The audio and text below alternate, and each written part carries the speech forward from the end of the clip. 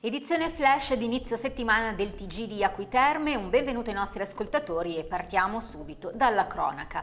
I carabinieri della compagnia di Acquiterme sono ancora impegnati a ricostruire la dinamica esatta dell'incidente avvenuto domenica mattina a Rocca Grimalda, in cui a restare gravemente ferito è stato un ciclista diciottenne. Il ragazzo stava partecipando alla manifestazione ciclistica Ovada in Randonée, da poco partito per il percorso di circa 200 km tra le colline dell'Ovadese, stava pedalando pedalando in direzione Predosa quando è stato travolto frontalmente da una Ford Focus che viaggiava in direzione Ovada e stando al racconto della donna al volante avrebbe invaso la corsia opposta per evitare un capriolo. Subito soccorso il giovane ciclista è stato trasportato in codice rosso all'ospedale di Alessandria, al momento è ricoverato in rianimazione in prognosi riservata. Accensione anticipata dei riscaldamenti ad acque consentite dall'amministrazione comunale. Gli impianti resteranno accesi per un massimo di 4 ore al giorno. Partirà invece dal 15 ottobre la normale attivazione per 14 ore giornaliere. Col 1 ottobre è iniziata la raccolta differenziata da Terme, sarà sperimentale nei primi tre mesi di adozione, mentre entrerà in vigore a scaglioni a seconda delle zone contraddistinte da diversi colori nei calendari di raccolta che sono stati distribuiti a tutte le famiglie. Da lunedì 8 ottobre parte anche il servizio Ecobus per il conferimento dei rifiuti urbani, carta e cartone, imballaggi in plastica e lattine, umido e secco non riciclabile. Ecobus effettuerà le fermate negli orari indicati nel calendario e nasce dall'esigenza di poter conferire i rifiuti nella fascia oraria pomeridiana e serale, in aggiunta alla raccolta domiciliare porta a porta.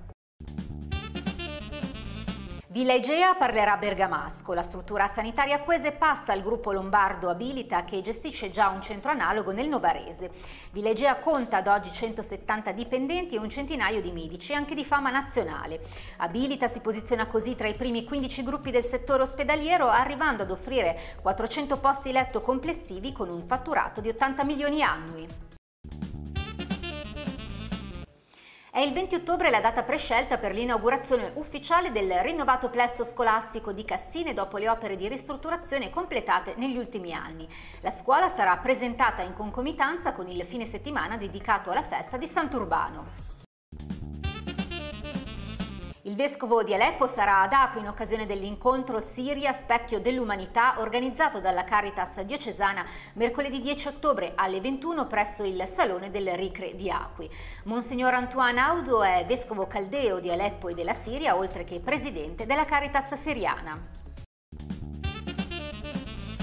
Il primo concorso fotografico dedicato alle donne che volano alto. A promuoverlo è il centro di ascolto Acquiterme Onlus con la cooperativa sociale Impressioni Grafiche Onlus e il sostegno di Soroptimis Acquiterme. I fotografi sono lasciati liberi di interpretare a seconda della loro sensibilità l'argomento. Le donne che non si arrendono, che lottano, che reagiscono, che amano e che si amano. Il concorso è aperto a tutti, è ammesso l'uso di qualsiasi dispositivo digitale e ogni partecipante può inviare 5 scatti. Sarà possibile inviare le foto fino al 29 ottobre prossimo e per informazioni si può scrivere all'indirizzo mail editoria chiocciola impressionigrafiche.it. Nel campionato di promozione sorride l'Acqui che supera il San Giacomo Chieri per 3 a 1. I ragazzi di Mister Merlo risolvono tutto nel secondo tempo, dopo una prima frazione terminata sull'1 a 1 contro un avversario tenace soprattutto in fase offensiva. Protagonista del match il sedicenne Aresca, autore di una doppietta. Innocenti è invece l'autore della terza rete. Ricucito dunque il gap in classifica, l'Acqui sembra definitivamente essersi ripreso dopo il difficile avvio di stagione.